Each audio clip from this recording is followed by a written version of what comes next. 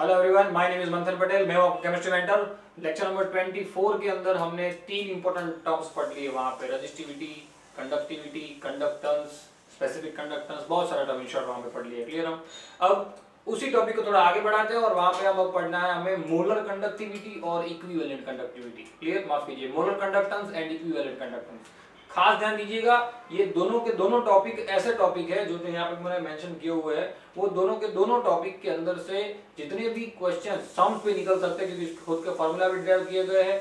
दोनों में बहुत कम, एकदम ना के बराबर ही हम डिफरेंस उसके अंदर देख सकते हैं। बराबर? एक जो है टोटल मोलारिटी के बेसिस पे चल रहा है, एक जो है टोटल नॉर्मालिटी के बेसिस पे चल रहा है क्लियर खास ध्यान दीजिएगा लेक्चर के अंदर किस तरीके से क्या चल रहा है? बराबर? इसके अंदर बहुत निकल सकते हैं। चलिए आगे बढ़ते हैं। बात करते हैं मोलर कंडक्टेंस लेकिन ये करने से पहले मैं आपको कुछ चीज़ें याद दिलवा दूँ। हमने आखिरी लेक्चर के अंदर क्या किया था? जरा हम उसको रिकेप एक बार कर देते हैं। आखिरी, क्योंकि इसकी ज़रूरत मुझे पढ़ने वाली है। आखिरी लेक्चर के अंदर हमने फॉर्मूला डिराइव किया था कप्पा का, जिसको हमने नाम दिया था क्या? स्पेसिफिक कंडक्टेंस क्या नाम दिया था? स्पेसिफिक कंडक्टेंस जिसको हमने कप्पा नाम दिया था। क्लियर ना? और उसका एक फॉर्मूला हमने डिराइव किया था जी इंटू जी स्टार क्या डिराइव किया था? G into G star clear ना? जिसमें जी जो था, वो क्या था? हमारा कंडक्टेंस यानी कि जिसको हमने वन अपॉन रो कहा था। याद किया ना? वन अपॉन रो कहा था, जिसको हमने क्या कहा था? माफ़ कीजिए वन अपॉन आर जिसको हमने कंडक्टेंस कहा था। वन वन अपॉन जी तो कंडक्टिविटी हो जाएगा, यानी ये कप्पा हो जाएगा। जी स्टार वो क्या था? L by A cell potential याद कीजिए क्लियर ना? ये चीज़ जो थी, उसको हमने इंचर्ट दो अलग अलग पार्टीशन में डिराइव किया था उसका हमने फॉर्मूला भी डिराइव किया था। याद कीजिएगा अच्छी तरीके से दोनों चीज़ों को, इसको एक्स से भी दिखाते हैं क्लियर तो ये चीज़ें हमने यहाँ पे क्या कर दी? प्रॉपरली मेंशन कर दी one upon R L by A ये जो है हमारा फॉर्मूला है, जो हमें काम में आने वाला है रेडी याद कीजिएगा खास। और एक मेन सबसे इंपॉर्टेंट वो है, इसकी डेफिनेशन क्या थी कप्पा की? Conductance conductance of conductance of conductance of one M L solution क्या conductance of one M L solution मैंने कहा था आपको, क्या? कि एक एम एल सॉल्यूशन का जो भी कंडक्टेंस होगा, समझना क्या बोल रहा हूँ? क्या? एक एम एल सॉल्यूशन एक एम एल सॉल्यूशन का जो भी कंडक्टेंस होगा, वो कहा जाएगा स्पेसिफिक कंडक्टेंस या तो कंडक्टिविटी या तो कप्पा।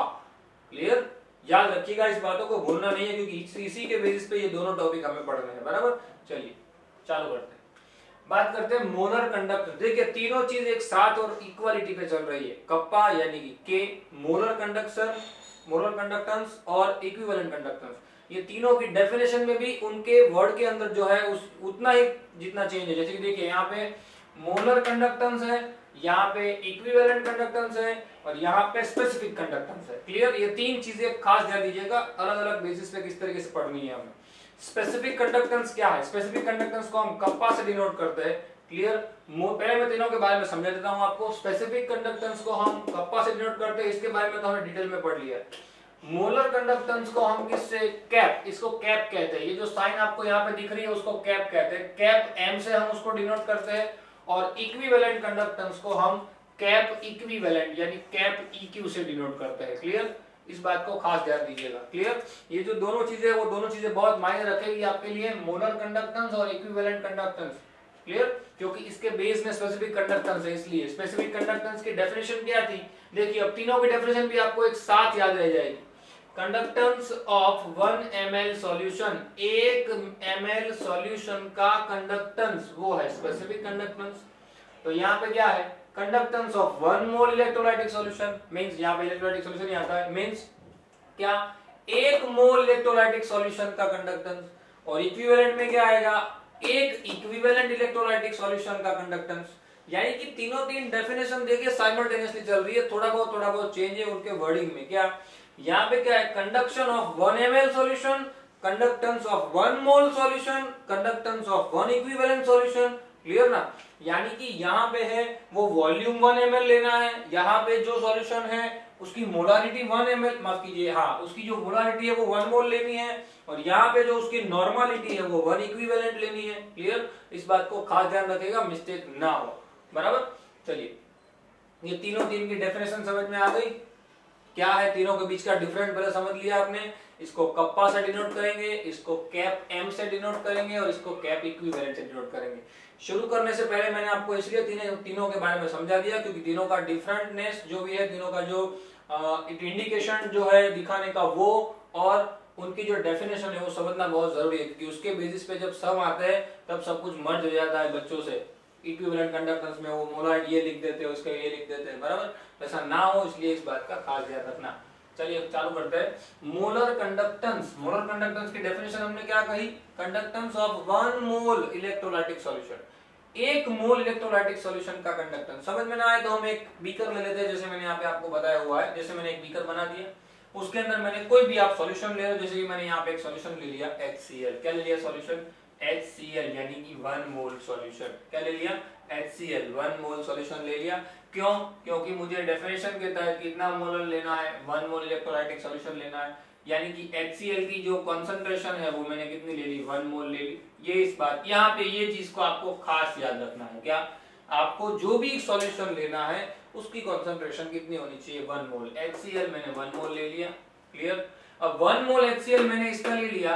अब सपोज़ सपोज़ समझना सपोज़ उसकी जो मोलारिटी है, ये मैंने ले ली है। ये है नहीं, ये मैंने ले ली है। लेट यानी suppose molarity of this solution molarity of this solution is m. Molarity क्या है इस सॉल्यूशन की? M, जो कि हमें यहाँ पे बता दी गई समझना मोलारिटी क्या है? M, और मैंने ये HCl का जो कंसंट्रेशन है, वो मैंने क्या लिया हुआ है? वन मोल क्लियर यानी यहाँ पे मोलारिटी उसकी am है, यानी वन मोलर सोलर दिख ही रहा है वन मोलर मोलारिटी होगी तो ही वन मोल होगा ना? उसकी डेफिनेशन भी यही कहती थी one mole solute dissolve in 1000 ml litre solution clear ना? मोलारिटी की जो डेफिनेशन थी वो।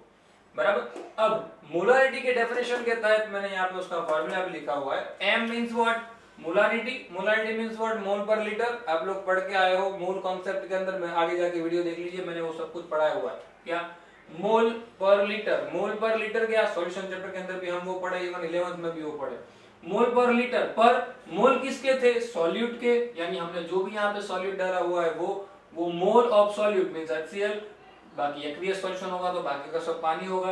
यानी mole of solute upon volume in litre clear ना? एक्चुअल जो हमारा डेफिनेशन था वो यहाँ पे मैंने प्रॉपर लिखा हुआ है। Mole of solute per volume of litre means mole per litre कहने का मतलब क्या है ये? मोल पर लीटर रेडी अब यहाँ पे मुझे ढूंढना एक्चुअल में वॉल्यूम है। क्यों वॉल्यूम अब वो ही हमें समझना है। देखिए, यहाँ पे मैंने क्या कहा? Conductance of one M L solution यानी कि यहाँ पे तो प्रॉपर वॉल्यूम की ही बात थी कि भाई एक एम एल सॉल्यूशन का कंडक्टेंस फिक्स्ड हो गया। क्योंकि मुझे सम के अंदर जब वॉल्यूम ढूँढने के लिए कहा जाएगा, तब मैं स्पेसिफिक कंडक्टेंस के लिए वन एम एल सोल्यूशन लेने वाला हूँ और मोलर कंडक्टेंस के लिए मैं कितना एम एल सोल्यूशन लूँगा, बस वो फॉर्मूला हमें यहाँ पे डिराइव करना है और इक्विवेलेंट के लिए कितना मुझे वॉल्यूम लेना पड़ेगा, वो फॉर्मूला मुझे इक्विवेलेंट कंडक्टेंस में डिराइव कर रहा है। क्लियर इस बात का खास ध्यान रखिएगा। यहाँ पे तो ऑलरेडी वन एम दिया हुआ है। अब यहाँ पे मुझे कितना लेना है, वो मैं डिराइव कर रहा हूँ। यानी कि मुझे यहाँ पे वॉल्यूम ढूंढना है। देखिए, मैंने इसलिए यहाँ क्वेश्चन मार्क करके डिनोट किया हुआ है कि इस सॉल्यूशन का वॉल्यूम मुझे ढूंढना है। मैंने डेफिनेशन में ये कहा conductance of one mole of electrolytic solution क्या कहा? Conductance of one mole of electrolytic solution यानी कि मेरे पास जो सॉल्यूशन है, उसकी कॉन्सेंट्रेशन वन मोल है, लेकिन वॉल्यूम कितना है? वॉल्यूम उसका कितना मुझे लेना है? एक्चुअल में अगर ये मोलारिटी के डेफिनेशन के तहत जाए तो थाउज़ेंड एम ही लेना। मोलारिटी के लेकिन ये तो एम है। पता नहीं है वन मोलर है कि कितना मोलर है। मैंने इसलिए सपोज़ किया। इसलिए मैंने क्या कहा? सपोज़ ये कितना है? वन मोलर है। माफ़ कीजिए एम मोलर है। यानी कि उसकी मोलारिटी कितनी है? एम अब जब हम कैलकुलेट करेंगे, तब पता चल जाएगा, अगर उसकी मोलारिटी वन होगी तो उसी हिसाब से जाएगा, और वन नहीं होगी तो उसका स्पेसिफिक फॉर्मूला निकल के बाहर आ जाएगा। चलिए, क्या? भाई, मोल पर लीटर, मुझे ये ढूंढना है, लीटर में ढूंढना है तो मैं उसको, माफ़ कीजिए वॉल्यूम ढूंढना है तो मैंने वॉल्यूम को सब्जेक्ट बना दिया। वॉल्यूम यहाँ चला गया एम डिवाइड में गया मतलब कि volume of litre volume in litre sorry is equal to N mole of solute divide by M अब मोल तो कितने ले लिए मैंने? सॉल्यूट के मोल कितने ले लिए? वन ले लिया है ना? सॉल्यूट के मोल देखिए ये रहा। मोल कितने ले लिए मैंने? वन ले लिया है। तो उसकी जगह पे मैं क्या लिख सकता हूँ? वन तो मैंने यहाँ पे वन लिख दिया वन बाई एम ये वॉल्यूम लीटर में आ गया, वन अपॉन एल एम, यानी कि नॉर्मल लैंग्वेज में अगर मैं कहूँ तो ये क्या हुआ एक्चुअल में मोल पर लीटर है, लेकिन इनवर्स है, मोलारिटी का इनवर्स है ना, one upon M, molarity means what mole per litre. Molarity, ये ध्यान रखना, खास ये, यही चीज़ इसलिए मैंने बाजू में लिखी हुई है। Molarity mean what mole per litre. Inverse कर दो, लीटर पर मोल, सिंपल पर। मैंने यहाँ पे डेफिनेशन में स्पेसिफिक कंडक्टेंस को बार बार याद करना है आपको।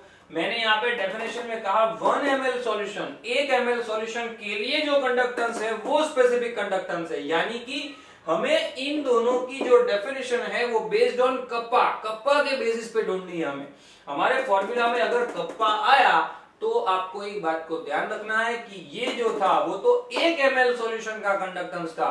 मतलब आप चाहे मोलर कंडक्टेंस डिराइव कर रहे हो, चाहे इक्विवेलेंट कंडक्टेंस डिराइव कर रहे हो आप लोग कप्पा को बेस लेके चल रहे हो तो आपका उसका जो वॉल्यूम है, वो वॉल्यूम आपको किसमें लाना पड़ेगा? एमएल में। क्योंकि ये भाई तो एमएल में चल रहा है स्पेसिफिक है फिक्स्ड है, कि भाई एक एमएल सॉल्यूशन का ही कंडक्टेंस कप्पा कहा जाता है। तो मुझे यहाँ पे क्या करना पड़ेगा? इनको एक एमएल में कन्वर्ट करना पड़ेगा, सीधी बात है।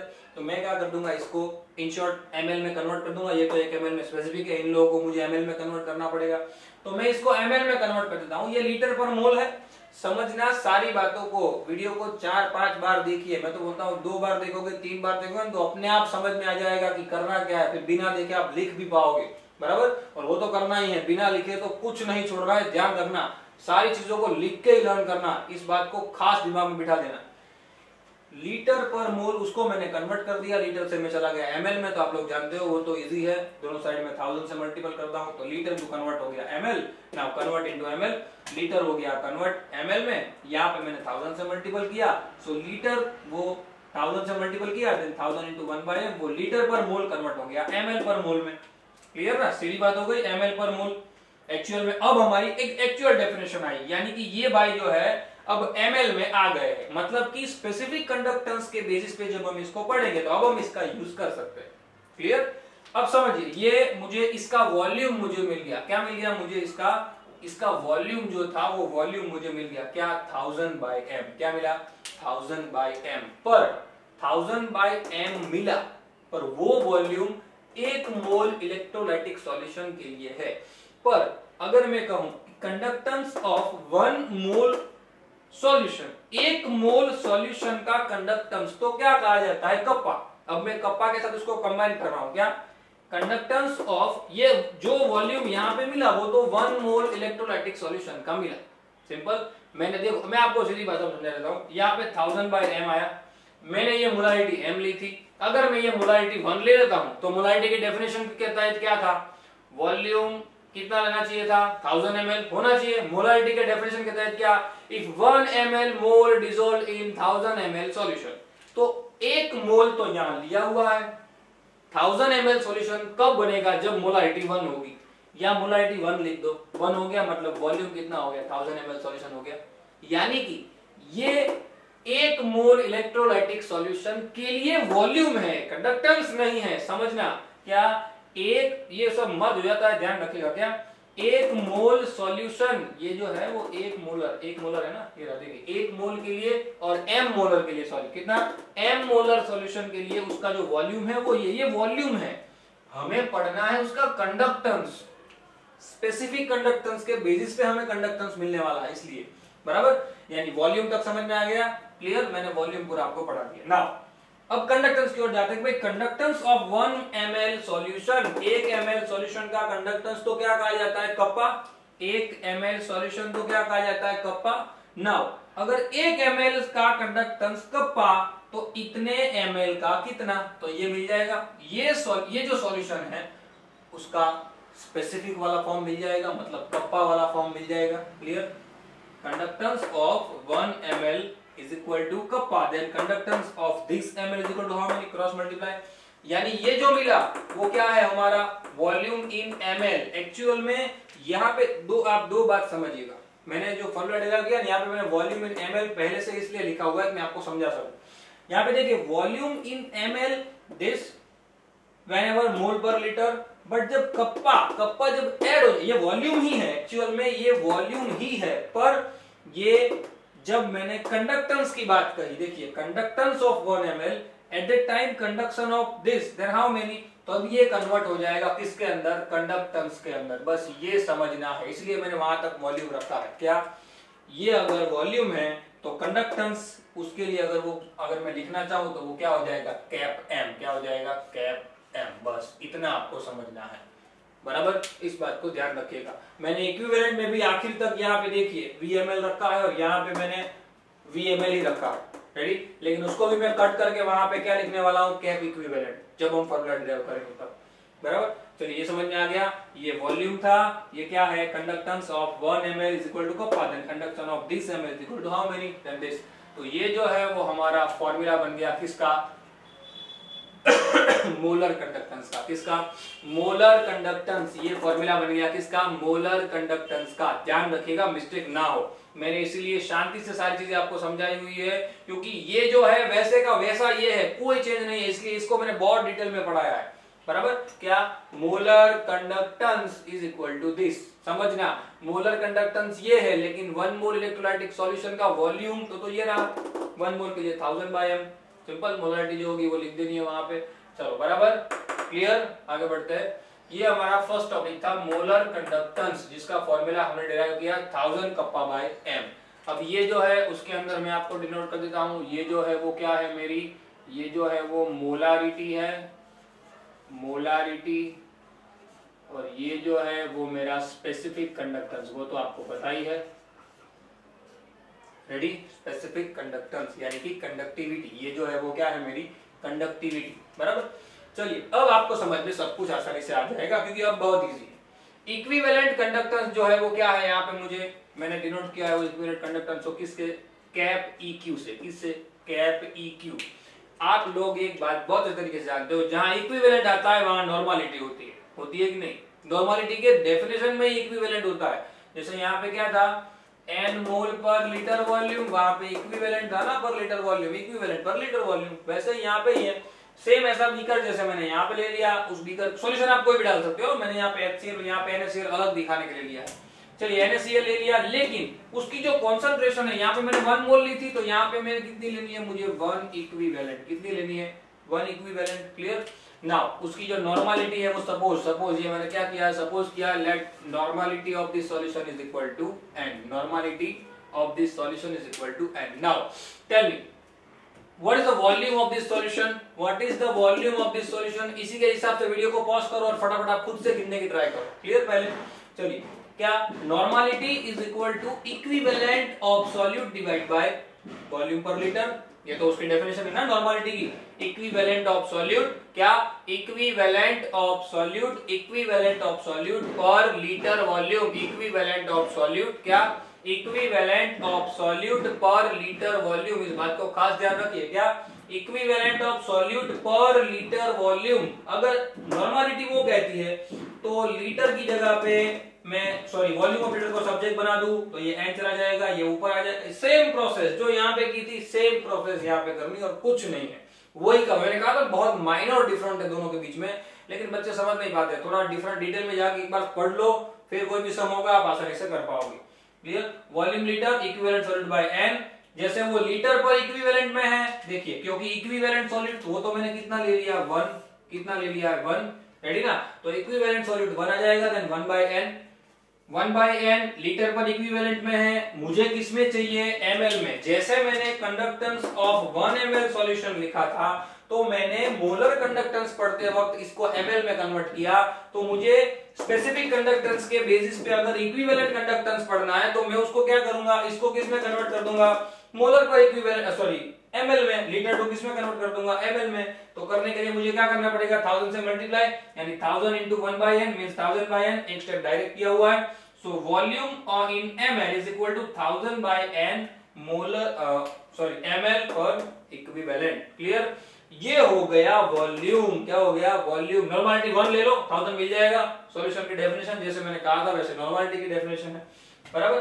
चलिए, अब जैसे यहाँ लिखा वैसे ही, जैसे ये तो वॉल्यूम है तो कंडक्टेंस के डिपेंड पे जाना हो तो conductance of 1 ml is equal to kappa then conductance of this ml is equal to how many फिर से बोल रहा हूँ conductance of 1 ml solution is equal to kappa then conductance of this molar sorry this ml solution is equal to how many देखिए conductance of 1 this and how many vml is equal to kappa into 1000 by n clear लेकिन यहाँ पे जब वो we M L यहाँ तक था, लेकिन जब मैंने कंडक्टेंस की बात की तो वो कन्वर्ट हो जाएगा किसके अंदर? कैप इक्विवेलेंट के अंदर। किसके अंदर कन्वर्ट हो जाएगा? कैप इक्विवेलेंट के अंदर। ध्यान रखना, खास मिस्टेक ना हो। क्या? Cap equivalent cap equivalent is equal to thousand kappa by N यानी कि हमने दो इंपोर्टेंट फॉर्मूला डिराइव किए हैं। एक मोलर कंडक्टेंस और एक इक्विवेलेंट कंडक्टेंस जहाँ पे ये मोलारिटी थी जहाँ पे ये नॉर्मालिटी होगी। रेडी जहाँ पे ये मोलारिटी थी, यहाँ पे ये नॉर्मालिटी होगी। ये तो कप्पा यानी स्पेसिफिक कंडक्टेंस है।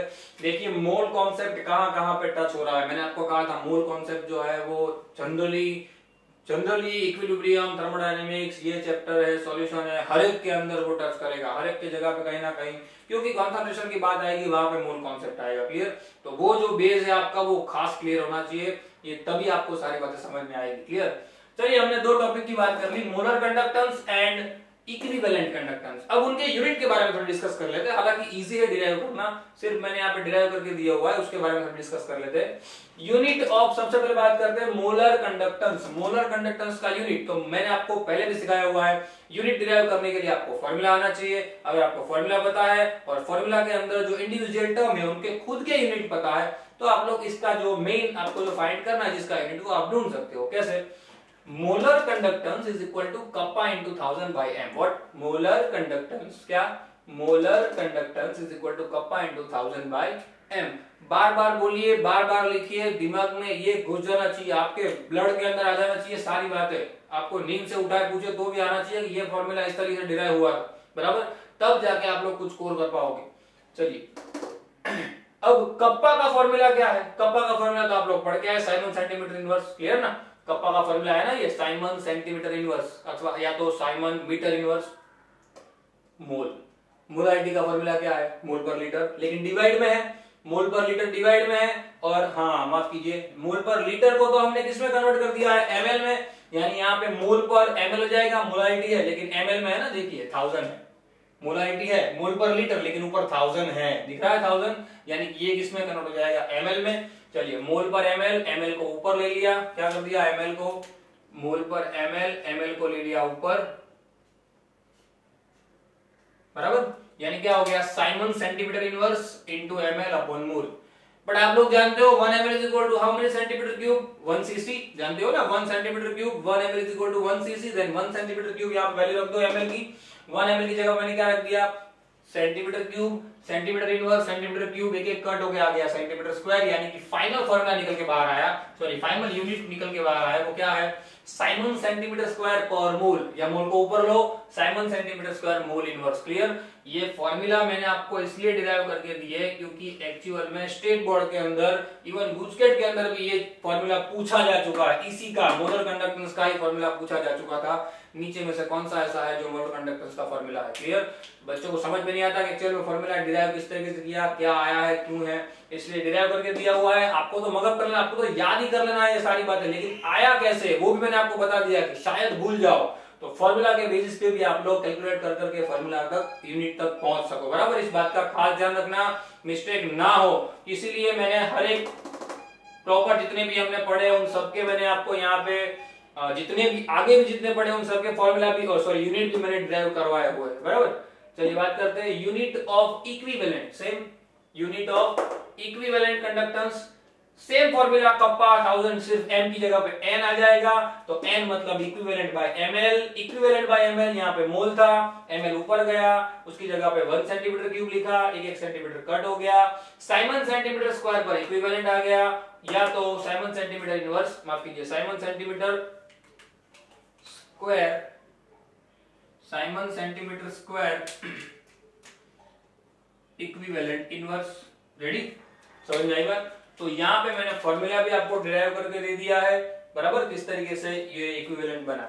सब कुछ सेम है, थोड़ा समझना है बस। देखिए स्पेसिफिक कंडक्टेंस के molar conductance cap M equivalent conductance cap E Q तीनों के बीच का डिफरेंस एक चल रहा है। एमएल वॉल्यूम के अंदर एक चल रहा है।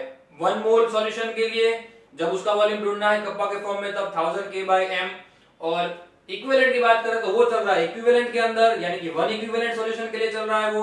उसका फॉर्मूला जब डिराइव करते हैं तो बनता है थाउज़ेंड के बाई एन क्लियर ऐसे सीक्वेंटली आप लोग याद रखोगे तो आपको सब कुछ क्लियर हो जाएगा। आपको चाहे डेटा किसी भी तरीके से दिया हो, आप लोग सारी बातें को कैलकुलेट कर पाएँगे। क्लियर लेक्चर नंबर 25 के अंदर आपको ये चीज़ अच्छी तरीके से लिखनी है और इसके आगे का लेक्चर जो गया था 24 वो चीज़ भी कंडक्टिविटी कंडक्टेंस यानी कि लेक्चर नंबर 24 और 25 आपको अब अच्छी तरीके से याद करना है क्लियर क्योंकि नेक्स्ट जो लेक्चर हमारा होने वाला है, वो नेक्स्ट लेक्चर के अंदर हम डायल्यूशन इफ़ेक्ट पढ़ने वाले हैं और डायल्यूशन इफ़ेक्ट के साथ साथ मैं आपको एक और चीज़ बता देता हूँ आप लोग सॉल्यूशन चैप्टर मैंने जब पढ़ाया था, तब आपको बताया हुआ था डिग्री ऑफ़ डिसोसिएशन क्या है। इवन आप इलेवंथ में भी पढ़े। वो डिग्री ऑफ़ डिसोसिएशन वाला जो टॉपिक है, उसको एक बार रिफर कर लेना। क्लियर मैं हालाँकि पढ़ाने ही वाला हूँ डिग्री ऑफ़ डिसोसिएशन एक्चुअल में है क्या? क्योंकि हमें उसको इफ़ेक्ट करने वाले फैक्टर भी पढ़ने हैं यहाँ पे। बराबर? तो डिग्री ऑफ़ डिसोसिएशन को पढ़ लेना। नेक्स्ट लेक्चर के लिए आपको डिग्री ऑफ़ डिसोसिएशन की प्रिपरेशन कर लेनी है। क्लियर तो आपको कुछ समझ में आएगा कि एक्चुअल में यहाँ पे हो क्या रहा है, ठीक है? लेक्चर नंबर 25 के लिए रखते हैं इतना ही। मिलते हैं अगले लेक्चर के अंदर। तब तक थैंक्स लॉट